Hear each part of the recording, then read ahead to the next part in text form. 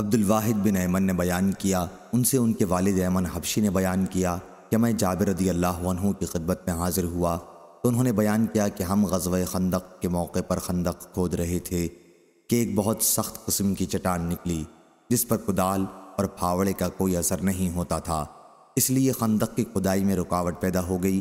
صحابہ رضی اللہ عنہم رسول اللہ صلی اللہ علیہ وسلم کی خدمت میں حاضر ہوئے اور آپ سے عرض کی کہ خندق میں ایک چٹان ظاہر ہو گئی ہے۔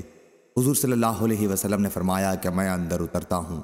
چنانچہ آپ کھڑے ہوئے، اس وقت بھوک کی شدت کی وجہ سے آپ کا پیٹ پتھر سے بندھا ہوا تھا۔ تین دن سے ہمیں ایک دانہ کھانے کے لیے نہیں ملا تھا۔ حضور صلی اللہ علیہ وسلم نے کدال اپنے ہاتھ میں لی اور چٹان پر اس سے مارا۔ چٹان ایک ہی ضرب میں بالوں کے ڈھیر کی طرح بہہ گئی۔ میں نے عرض کیا، یا رسول اللہ، مجھے گھر جانے کی اجازت دیجیے گھر آ کر میں نے اپنی بیوی سے کہا کہ آج میں نے حضور صلی اللہ علیہ وسلم کو پاکوں کی وجہ سے اس حالت میں دیکھا کہ صبر نہ ہو سکا۔ کیا تمہارے پاس کھانے کی کوئی چیز ہے؟ انہوں نے بتایا کہ ہاں کچھ جو ہیں۔ اور ایک بکری کا بچہ۔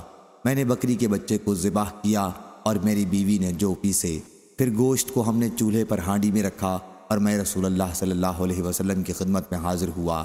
آٹا گوندھا جا چکا تھا اور گوشت چولہے پر پکنے کے قریب تھا۔ حضرت صلی اللہ علیہ وسلم سے میں نے عرض کیا گھر کھانے کے لیے مختصر کھانا تیار ہے۔ یا رسول اللہ صلی اللہ علیہ وسلم، آپ اپنے ساتھ ایک دو آدمیوں کو لے کر تشریف لے چلیں۔ حضور صلی اللہ علیہ وسلم نے دریافت فرمایا کہ کتنا ہے۔ میں نے آپ کو سب کچھ بتا دیا۔ آپ نے فرمایا کہ یہ تو بہت ہے اور نہایت عمدہ و طیب ہے۔ پھر آپ نے فرمایا کہ اپنی بیوی سے کہہ دو کہ چولہے سے ہانڈی نہ اتاریں اور نہ تنور سے روٹی نکالیں۔ میں ابھی آ رہا ہوں۔ پھر صحابہ رضی اللہ عنہم سے فرمایا کہ سب لوگ چلے چنانچہ تمام انصار اور مہاجرین تیار ہو گئے۔ جب جابر رضی اللہ عنہ گھر پہنچے تو اپنی بیوی سے انہوں نے کہا، اب کیا ہوگا؟ رسول اللہ صلی اللہ علیہ وسلم تو تمام مہاجرین و انصار کو ساتھ لے کر تشریف لا رہے ہیں۔ انہوں نے پوچھا، حضور صلی اللہ علیہ وسلم نے آپ سے کچھ پوچھا بھی تھا؟ جابر رضی اللہ عنہ نے کہا کہ ہاں حضور صلی اللہ علیہ وسلم نے صحابہ سے فرمایا کہ اندر داخل ہو جاؤ، لیکن اجدہام نہ ہونے پائے۔ اس کے بعد آن حضور صلی اللہ علیہ وسلم روٹی کا چورا کرنے لگے اور گوشت اس پر ڈالنے لگے۔ ہانڈی اور تنور دونوں ڈھکے ہوئے تھے۔ آ، حضور صلی اللہ علیہ وسلم نے اسے لیا اور صحابہ کے قریب کر دیا۔ پھر آپ نے گوشت اور روٹی نکالی۔ اس طرح آپ برابر روٹی چورا کرتے جاتے اور گوشت اس میں ڈالتے جاتے۔